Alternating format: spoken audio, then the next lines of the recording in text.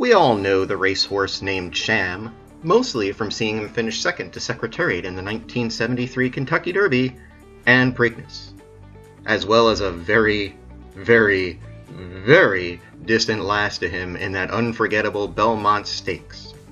However, other than those races, most people probably don't know that Sham was a very talented horse in his own right.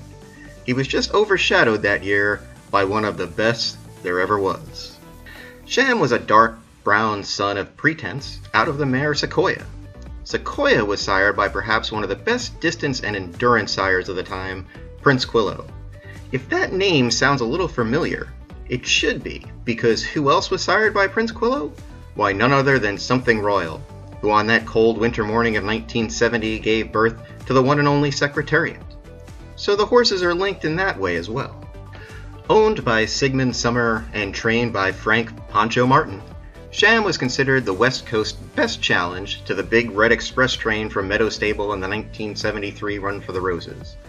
But to be considered that, he had to prove he was better than another top three year old in California at the time named Linda's Chief, who was trained by a young man who soon would become one of the top trainers of all time, Bobby Frankel. A man who would actually have what some consider to be one of the best horses of all time named after him. But that's for another day. Linda's Chief had beaten Sham in the San Felipe. Two weeks later, they met in the top West Coast Derby prep, the Santa Anita Derby. Linda's Chief was a front running type who could win races on the front end very easily. So Pancho Martin decided to also enter a horse named Nightly Dawn to hopefully keep Linda's Chief honest in the early going. Or was there a more devious reason for entering the horse? Adding to the intrigue was that the jockey for Nightly Dawn was changed that morning from the very successful Jorge Tejeira to the well past his prime Ismael Valenzuela.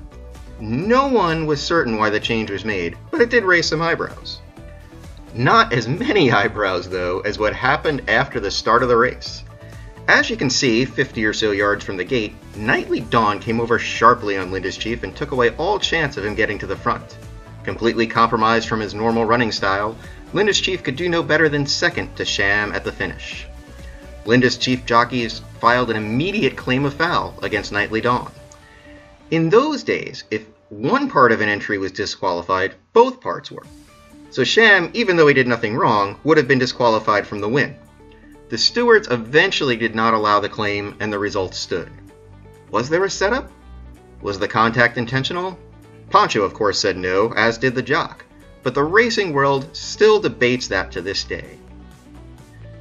Sham went on to the Wood Memorial. When was the last time you heard that happening in modern times? to finish second to Angle Light and defeating Secretariat, who was not at his best because of an abscess on his lip.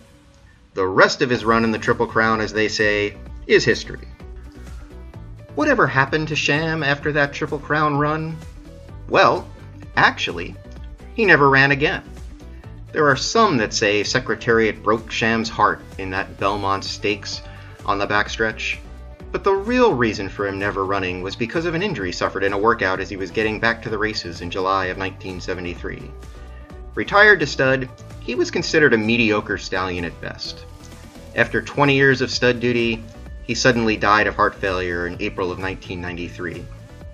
It was at this time that it was discovered Sham shared in another amazing fact with his arch rival that Triple Crown year of 1973. When he was necropsied, the term for an animal autopsy, Secretariat was said to have a heart that was at least twice the size of a normal thoroughbred's, something that was believed to give him a lot of his amazing ability to run as fast and far as he did. Sham was found to have the second largest heart, weighing in at 19 pounds. The same doctor did both necropsies.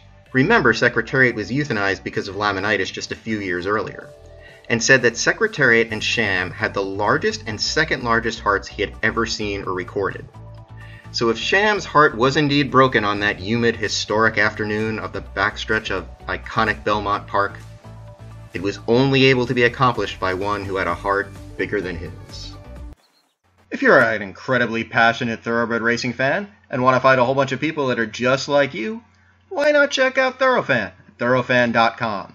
Sign up to become a member get our amazing weekly newsletter, and learn everything and anything there is to know about this amazing sport we call thoroughbred horse racing. Thorofan, giving the fans a voice.